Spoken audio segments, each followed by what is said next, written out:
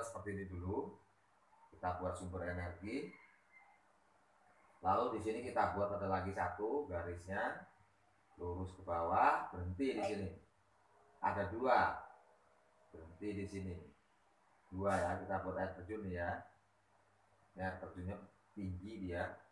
Uh, ini bebatuan atau tebingnya? Uh, di sini ada air kan? Di sini ada air sini ada airnya. Stop. Nah di sini ada percikan air. Nah ini airnya kan? Hmm, airnya. Nanti dibuat se seindah mungkin kamu bisa. Gambarnya nggak blur pak. Gambarnya nggak blur? Pak boleh aku belajar apa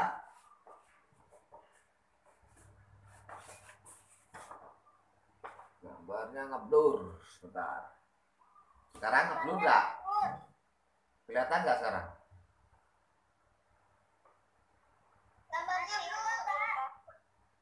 Hmm, hmm, hmm. segini kelihatan nggak? Masih pak pak masih blur udah pak udah Pak. udah blur sini ada pepohonan. Kalau ngeblur coba kamu keluar dulu terus masuk lagi coba. Keluar dulu terus masuk lagi. Yang merasa ngeblur. Mungkin sinyalnya deh kamu keluar dulu terus masuk lagi coba. Biasanya dia bagus nanti. Di sini ada tebing lagi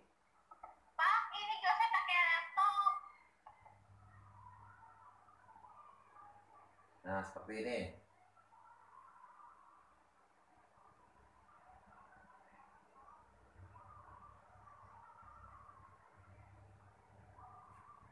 Gambarnya apa? Tebingnya nggak mesti harus sama ya. Bisa boleh beda.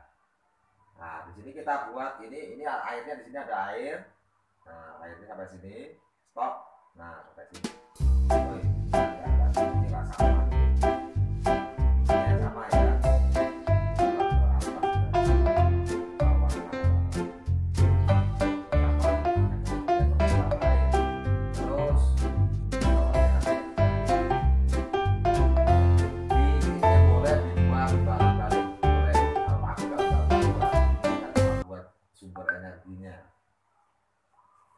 sumber energi itu air angin eh, matahari bisa dibuat panel tenaga surya bisa jadi sumber energi.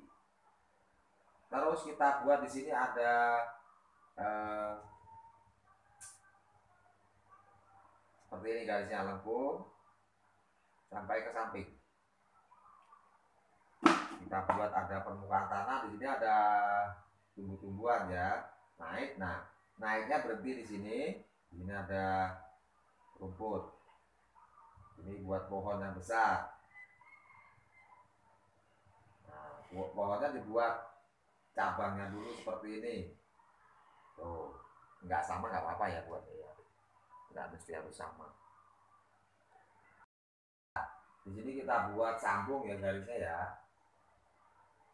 Nah ini ada pepohonan ada ada ada daunnya. Nah seperti ini.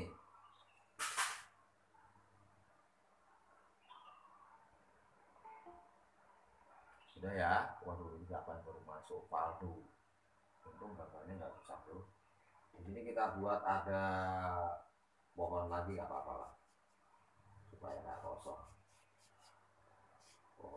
dulu buat ada ini apa daunnya ada ada pohonnya di sini. Tapi itu boleh.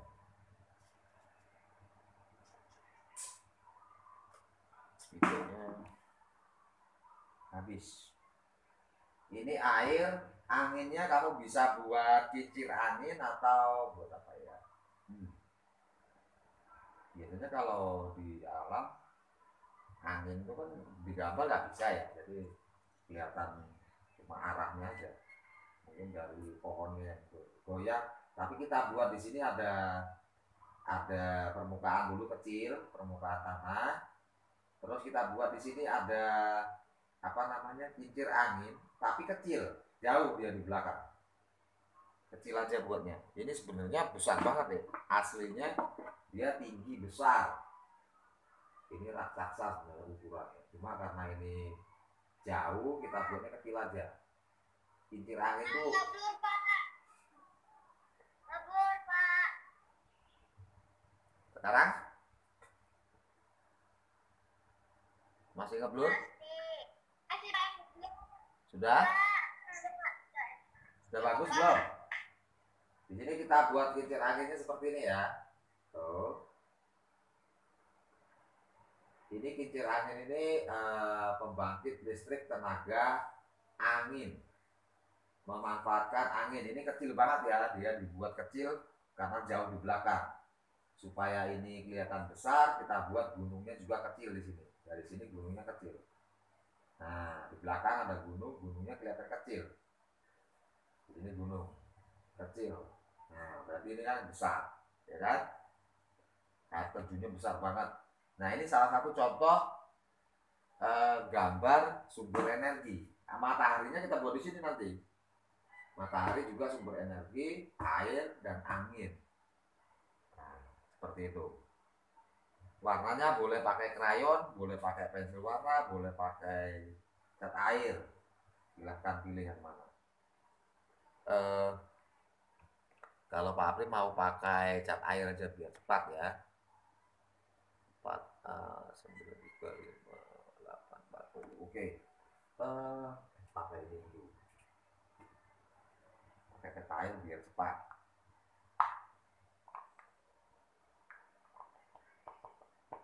Mana? Waduh.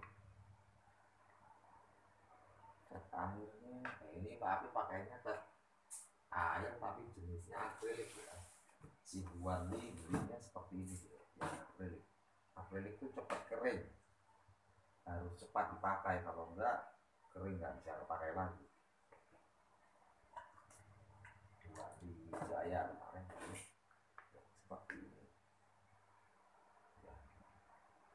akrilik sama-sama kata air tapi sama-sama pakai air bukan cat air. Sama-sama air pakai air. Eh kita warnai yang enggak warnai pertama eh rumputnya dulu aduh ini ada warna hitam ya tuh. Kerasnya deh aduh untung jatuhnya di situ deh.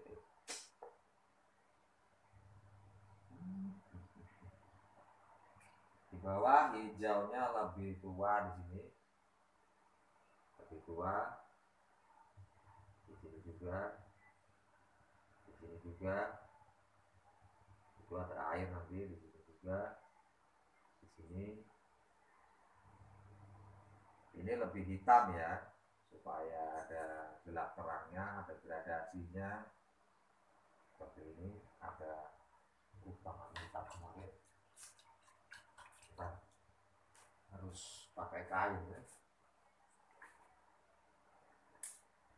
Nah, kalau yang pakai cat air siapkan warna hijau, hitam, kuning, hijau muda, biru juga. Nah, baru yang enggak muda di sini. Campur. Ini masih kalau kalian ingin eh, apa namanya warnanya bagus itu campurannya harus banyak juga warnanya hijau kamu kalian campur warna biru kalian campur warna kuning itu membantu semakin warnanya bagus.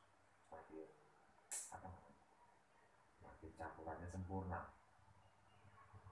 Seperti ini warnanya ini warna yang dasar ya. Seperti ini. Kebetulan Pak Afif juga di belakang gambar atau melukis air terjun tapi air terjunnya kecil ya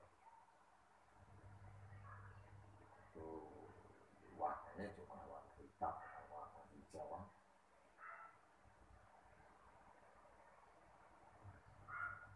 ini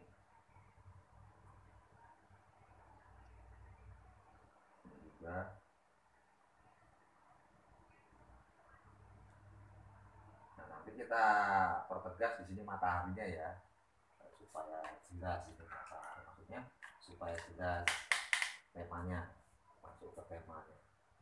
Karena kita temanya tentang sumber energi ya berarti ada matahari. Nah, matahari itu sumber energi tak habis tak terbatas.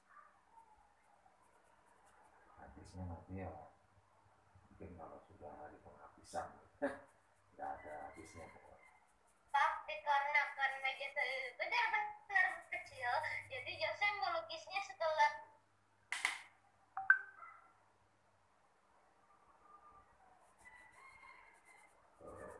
ini warnanya kuning aja terus dikasih warna kasih air boleh juga campur putih diratakan. Jadi dia kesannya eh, agak-agak sore ya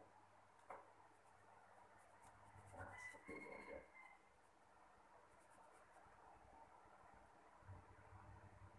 Tuh. ya Eh, kalau Jose mau pakai cat air, Jose punya cat air tidak? cara cara cara menggunakannya. Jose punya cat air tidak? Punya Pak, punya Kalau punya dipakai aja.